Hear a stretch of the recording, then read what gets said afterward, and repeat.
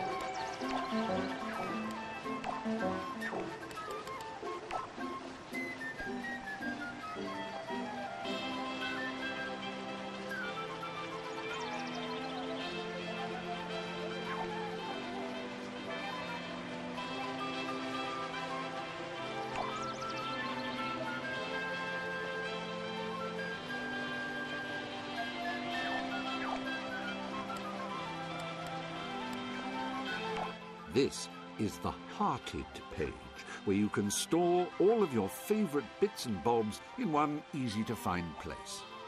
To add something, just press the menu button whilst you're hovering over an item or tool in Poppet, and an extra little menu will appear.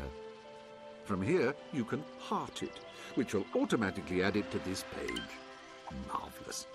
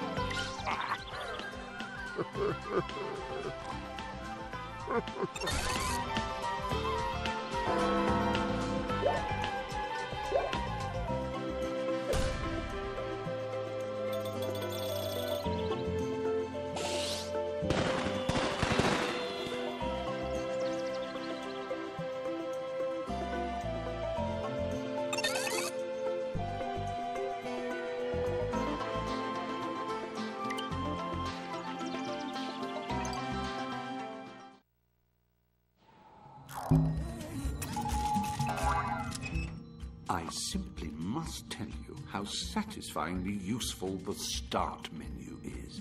There's so many fabo things it allows you to do, such as replay videos you've unlocked, or tinker and fine tune settings and the like. Have a fiddle. It's perplexingly simple to use. Just click the Start button and you're away.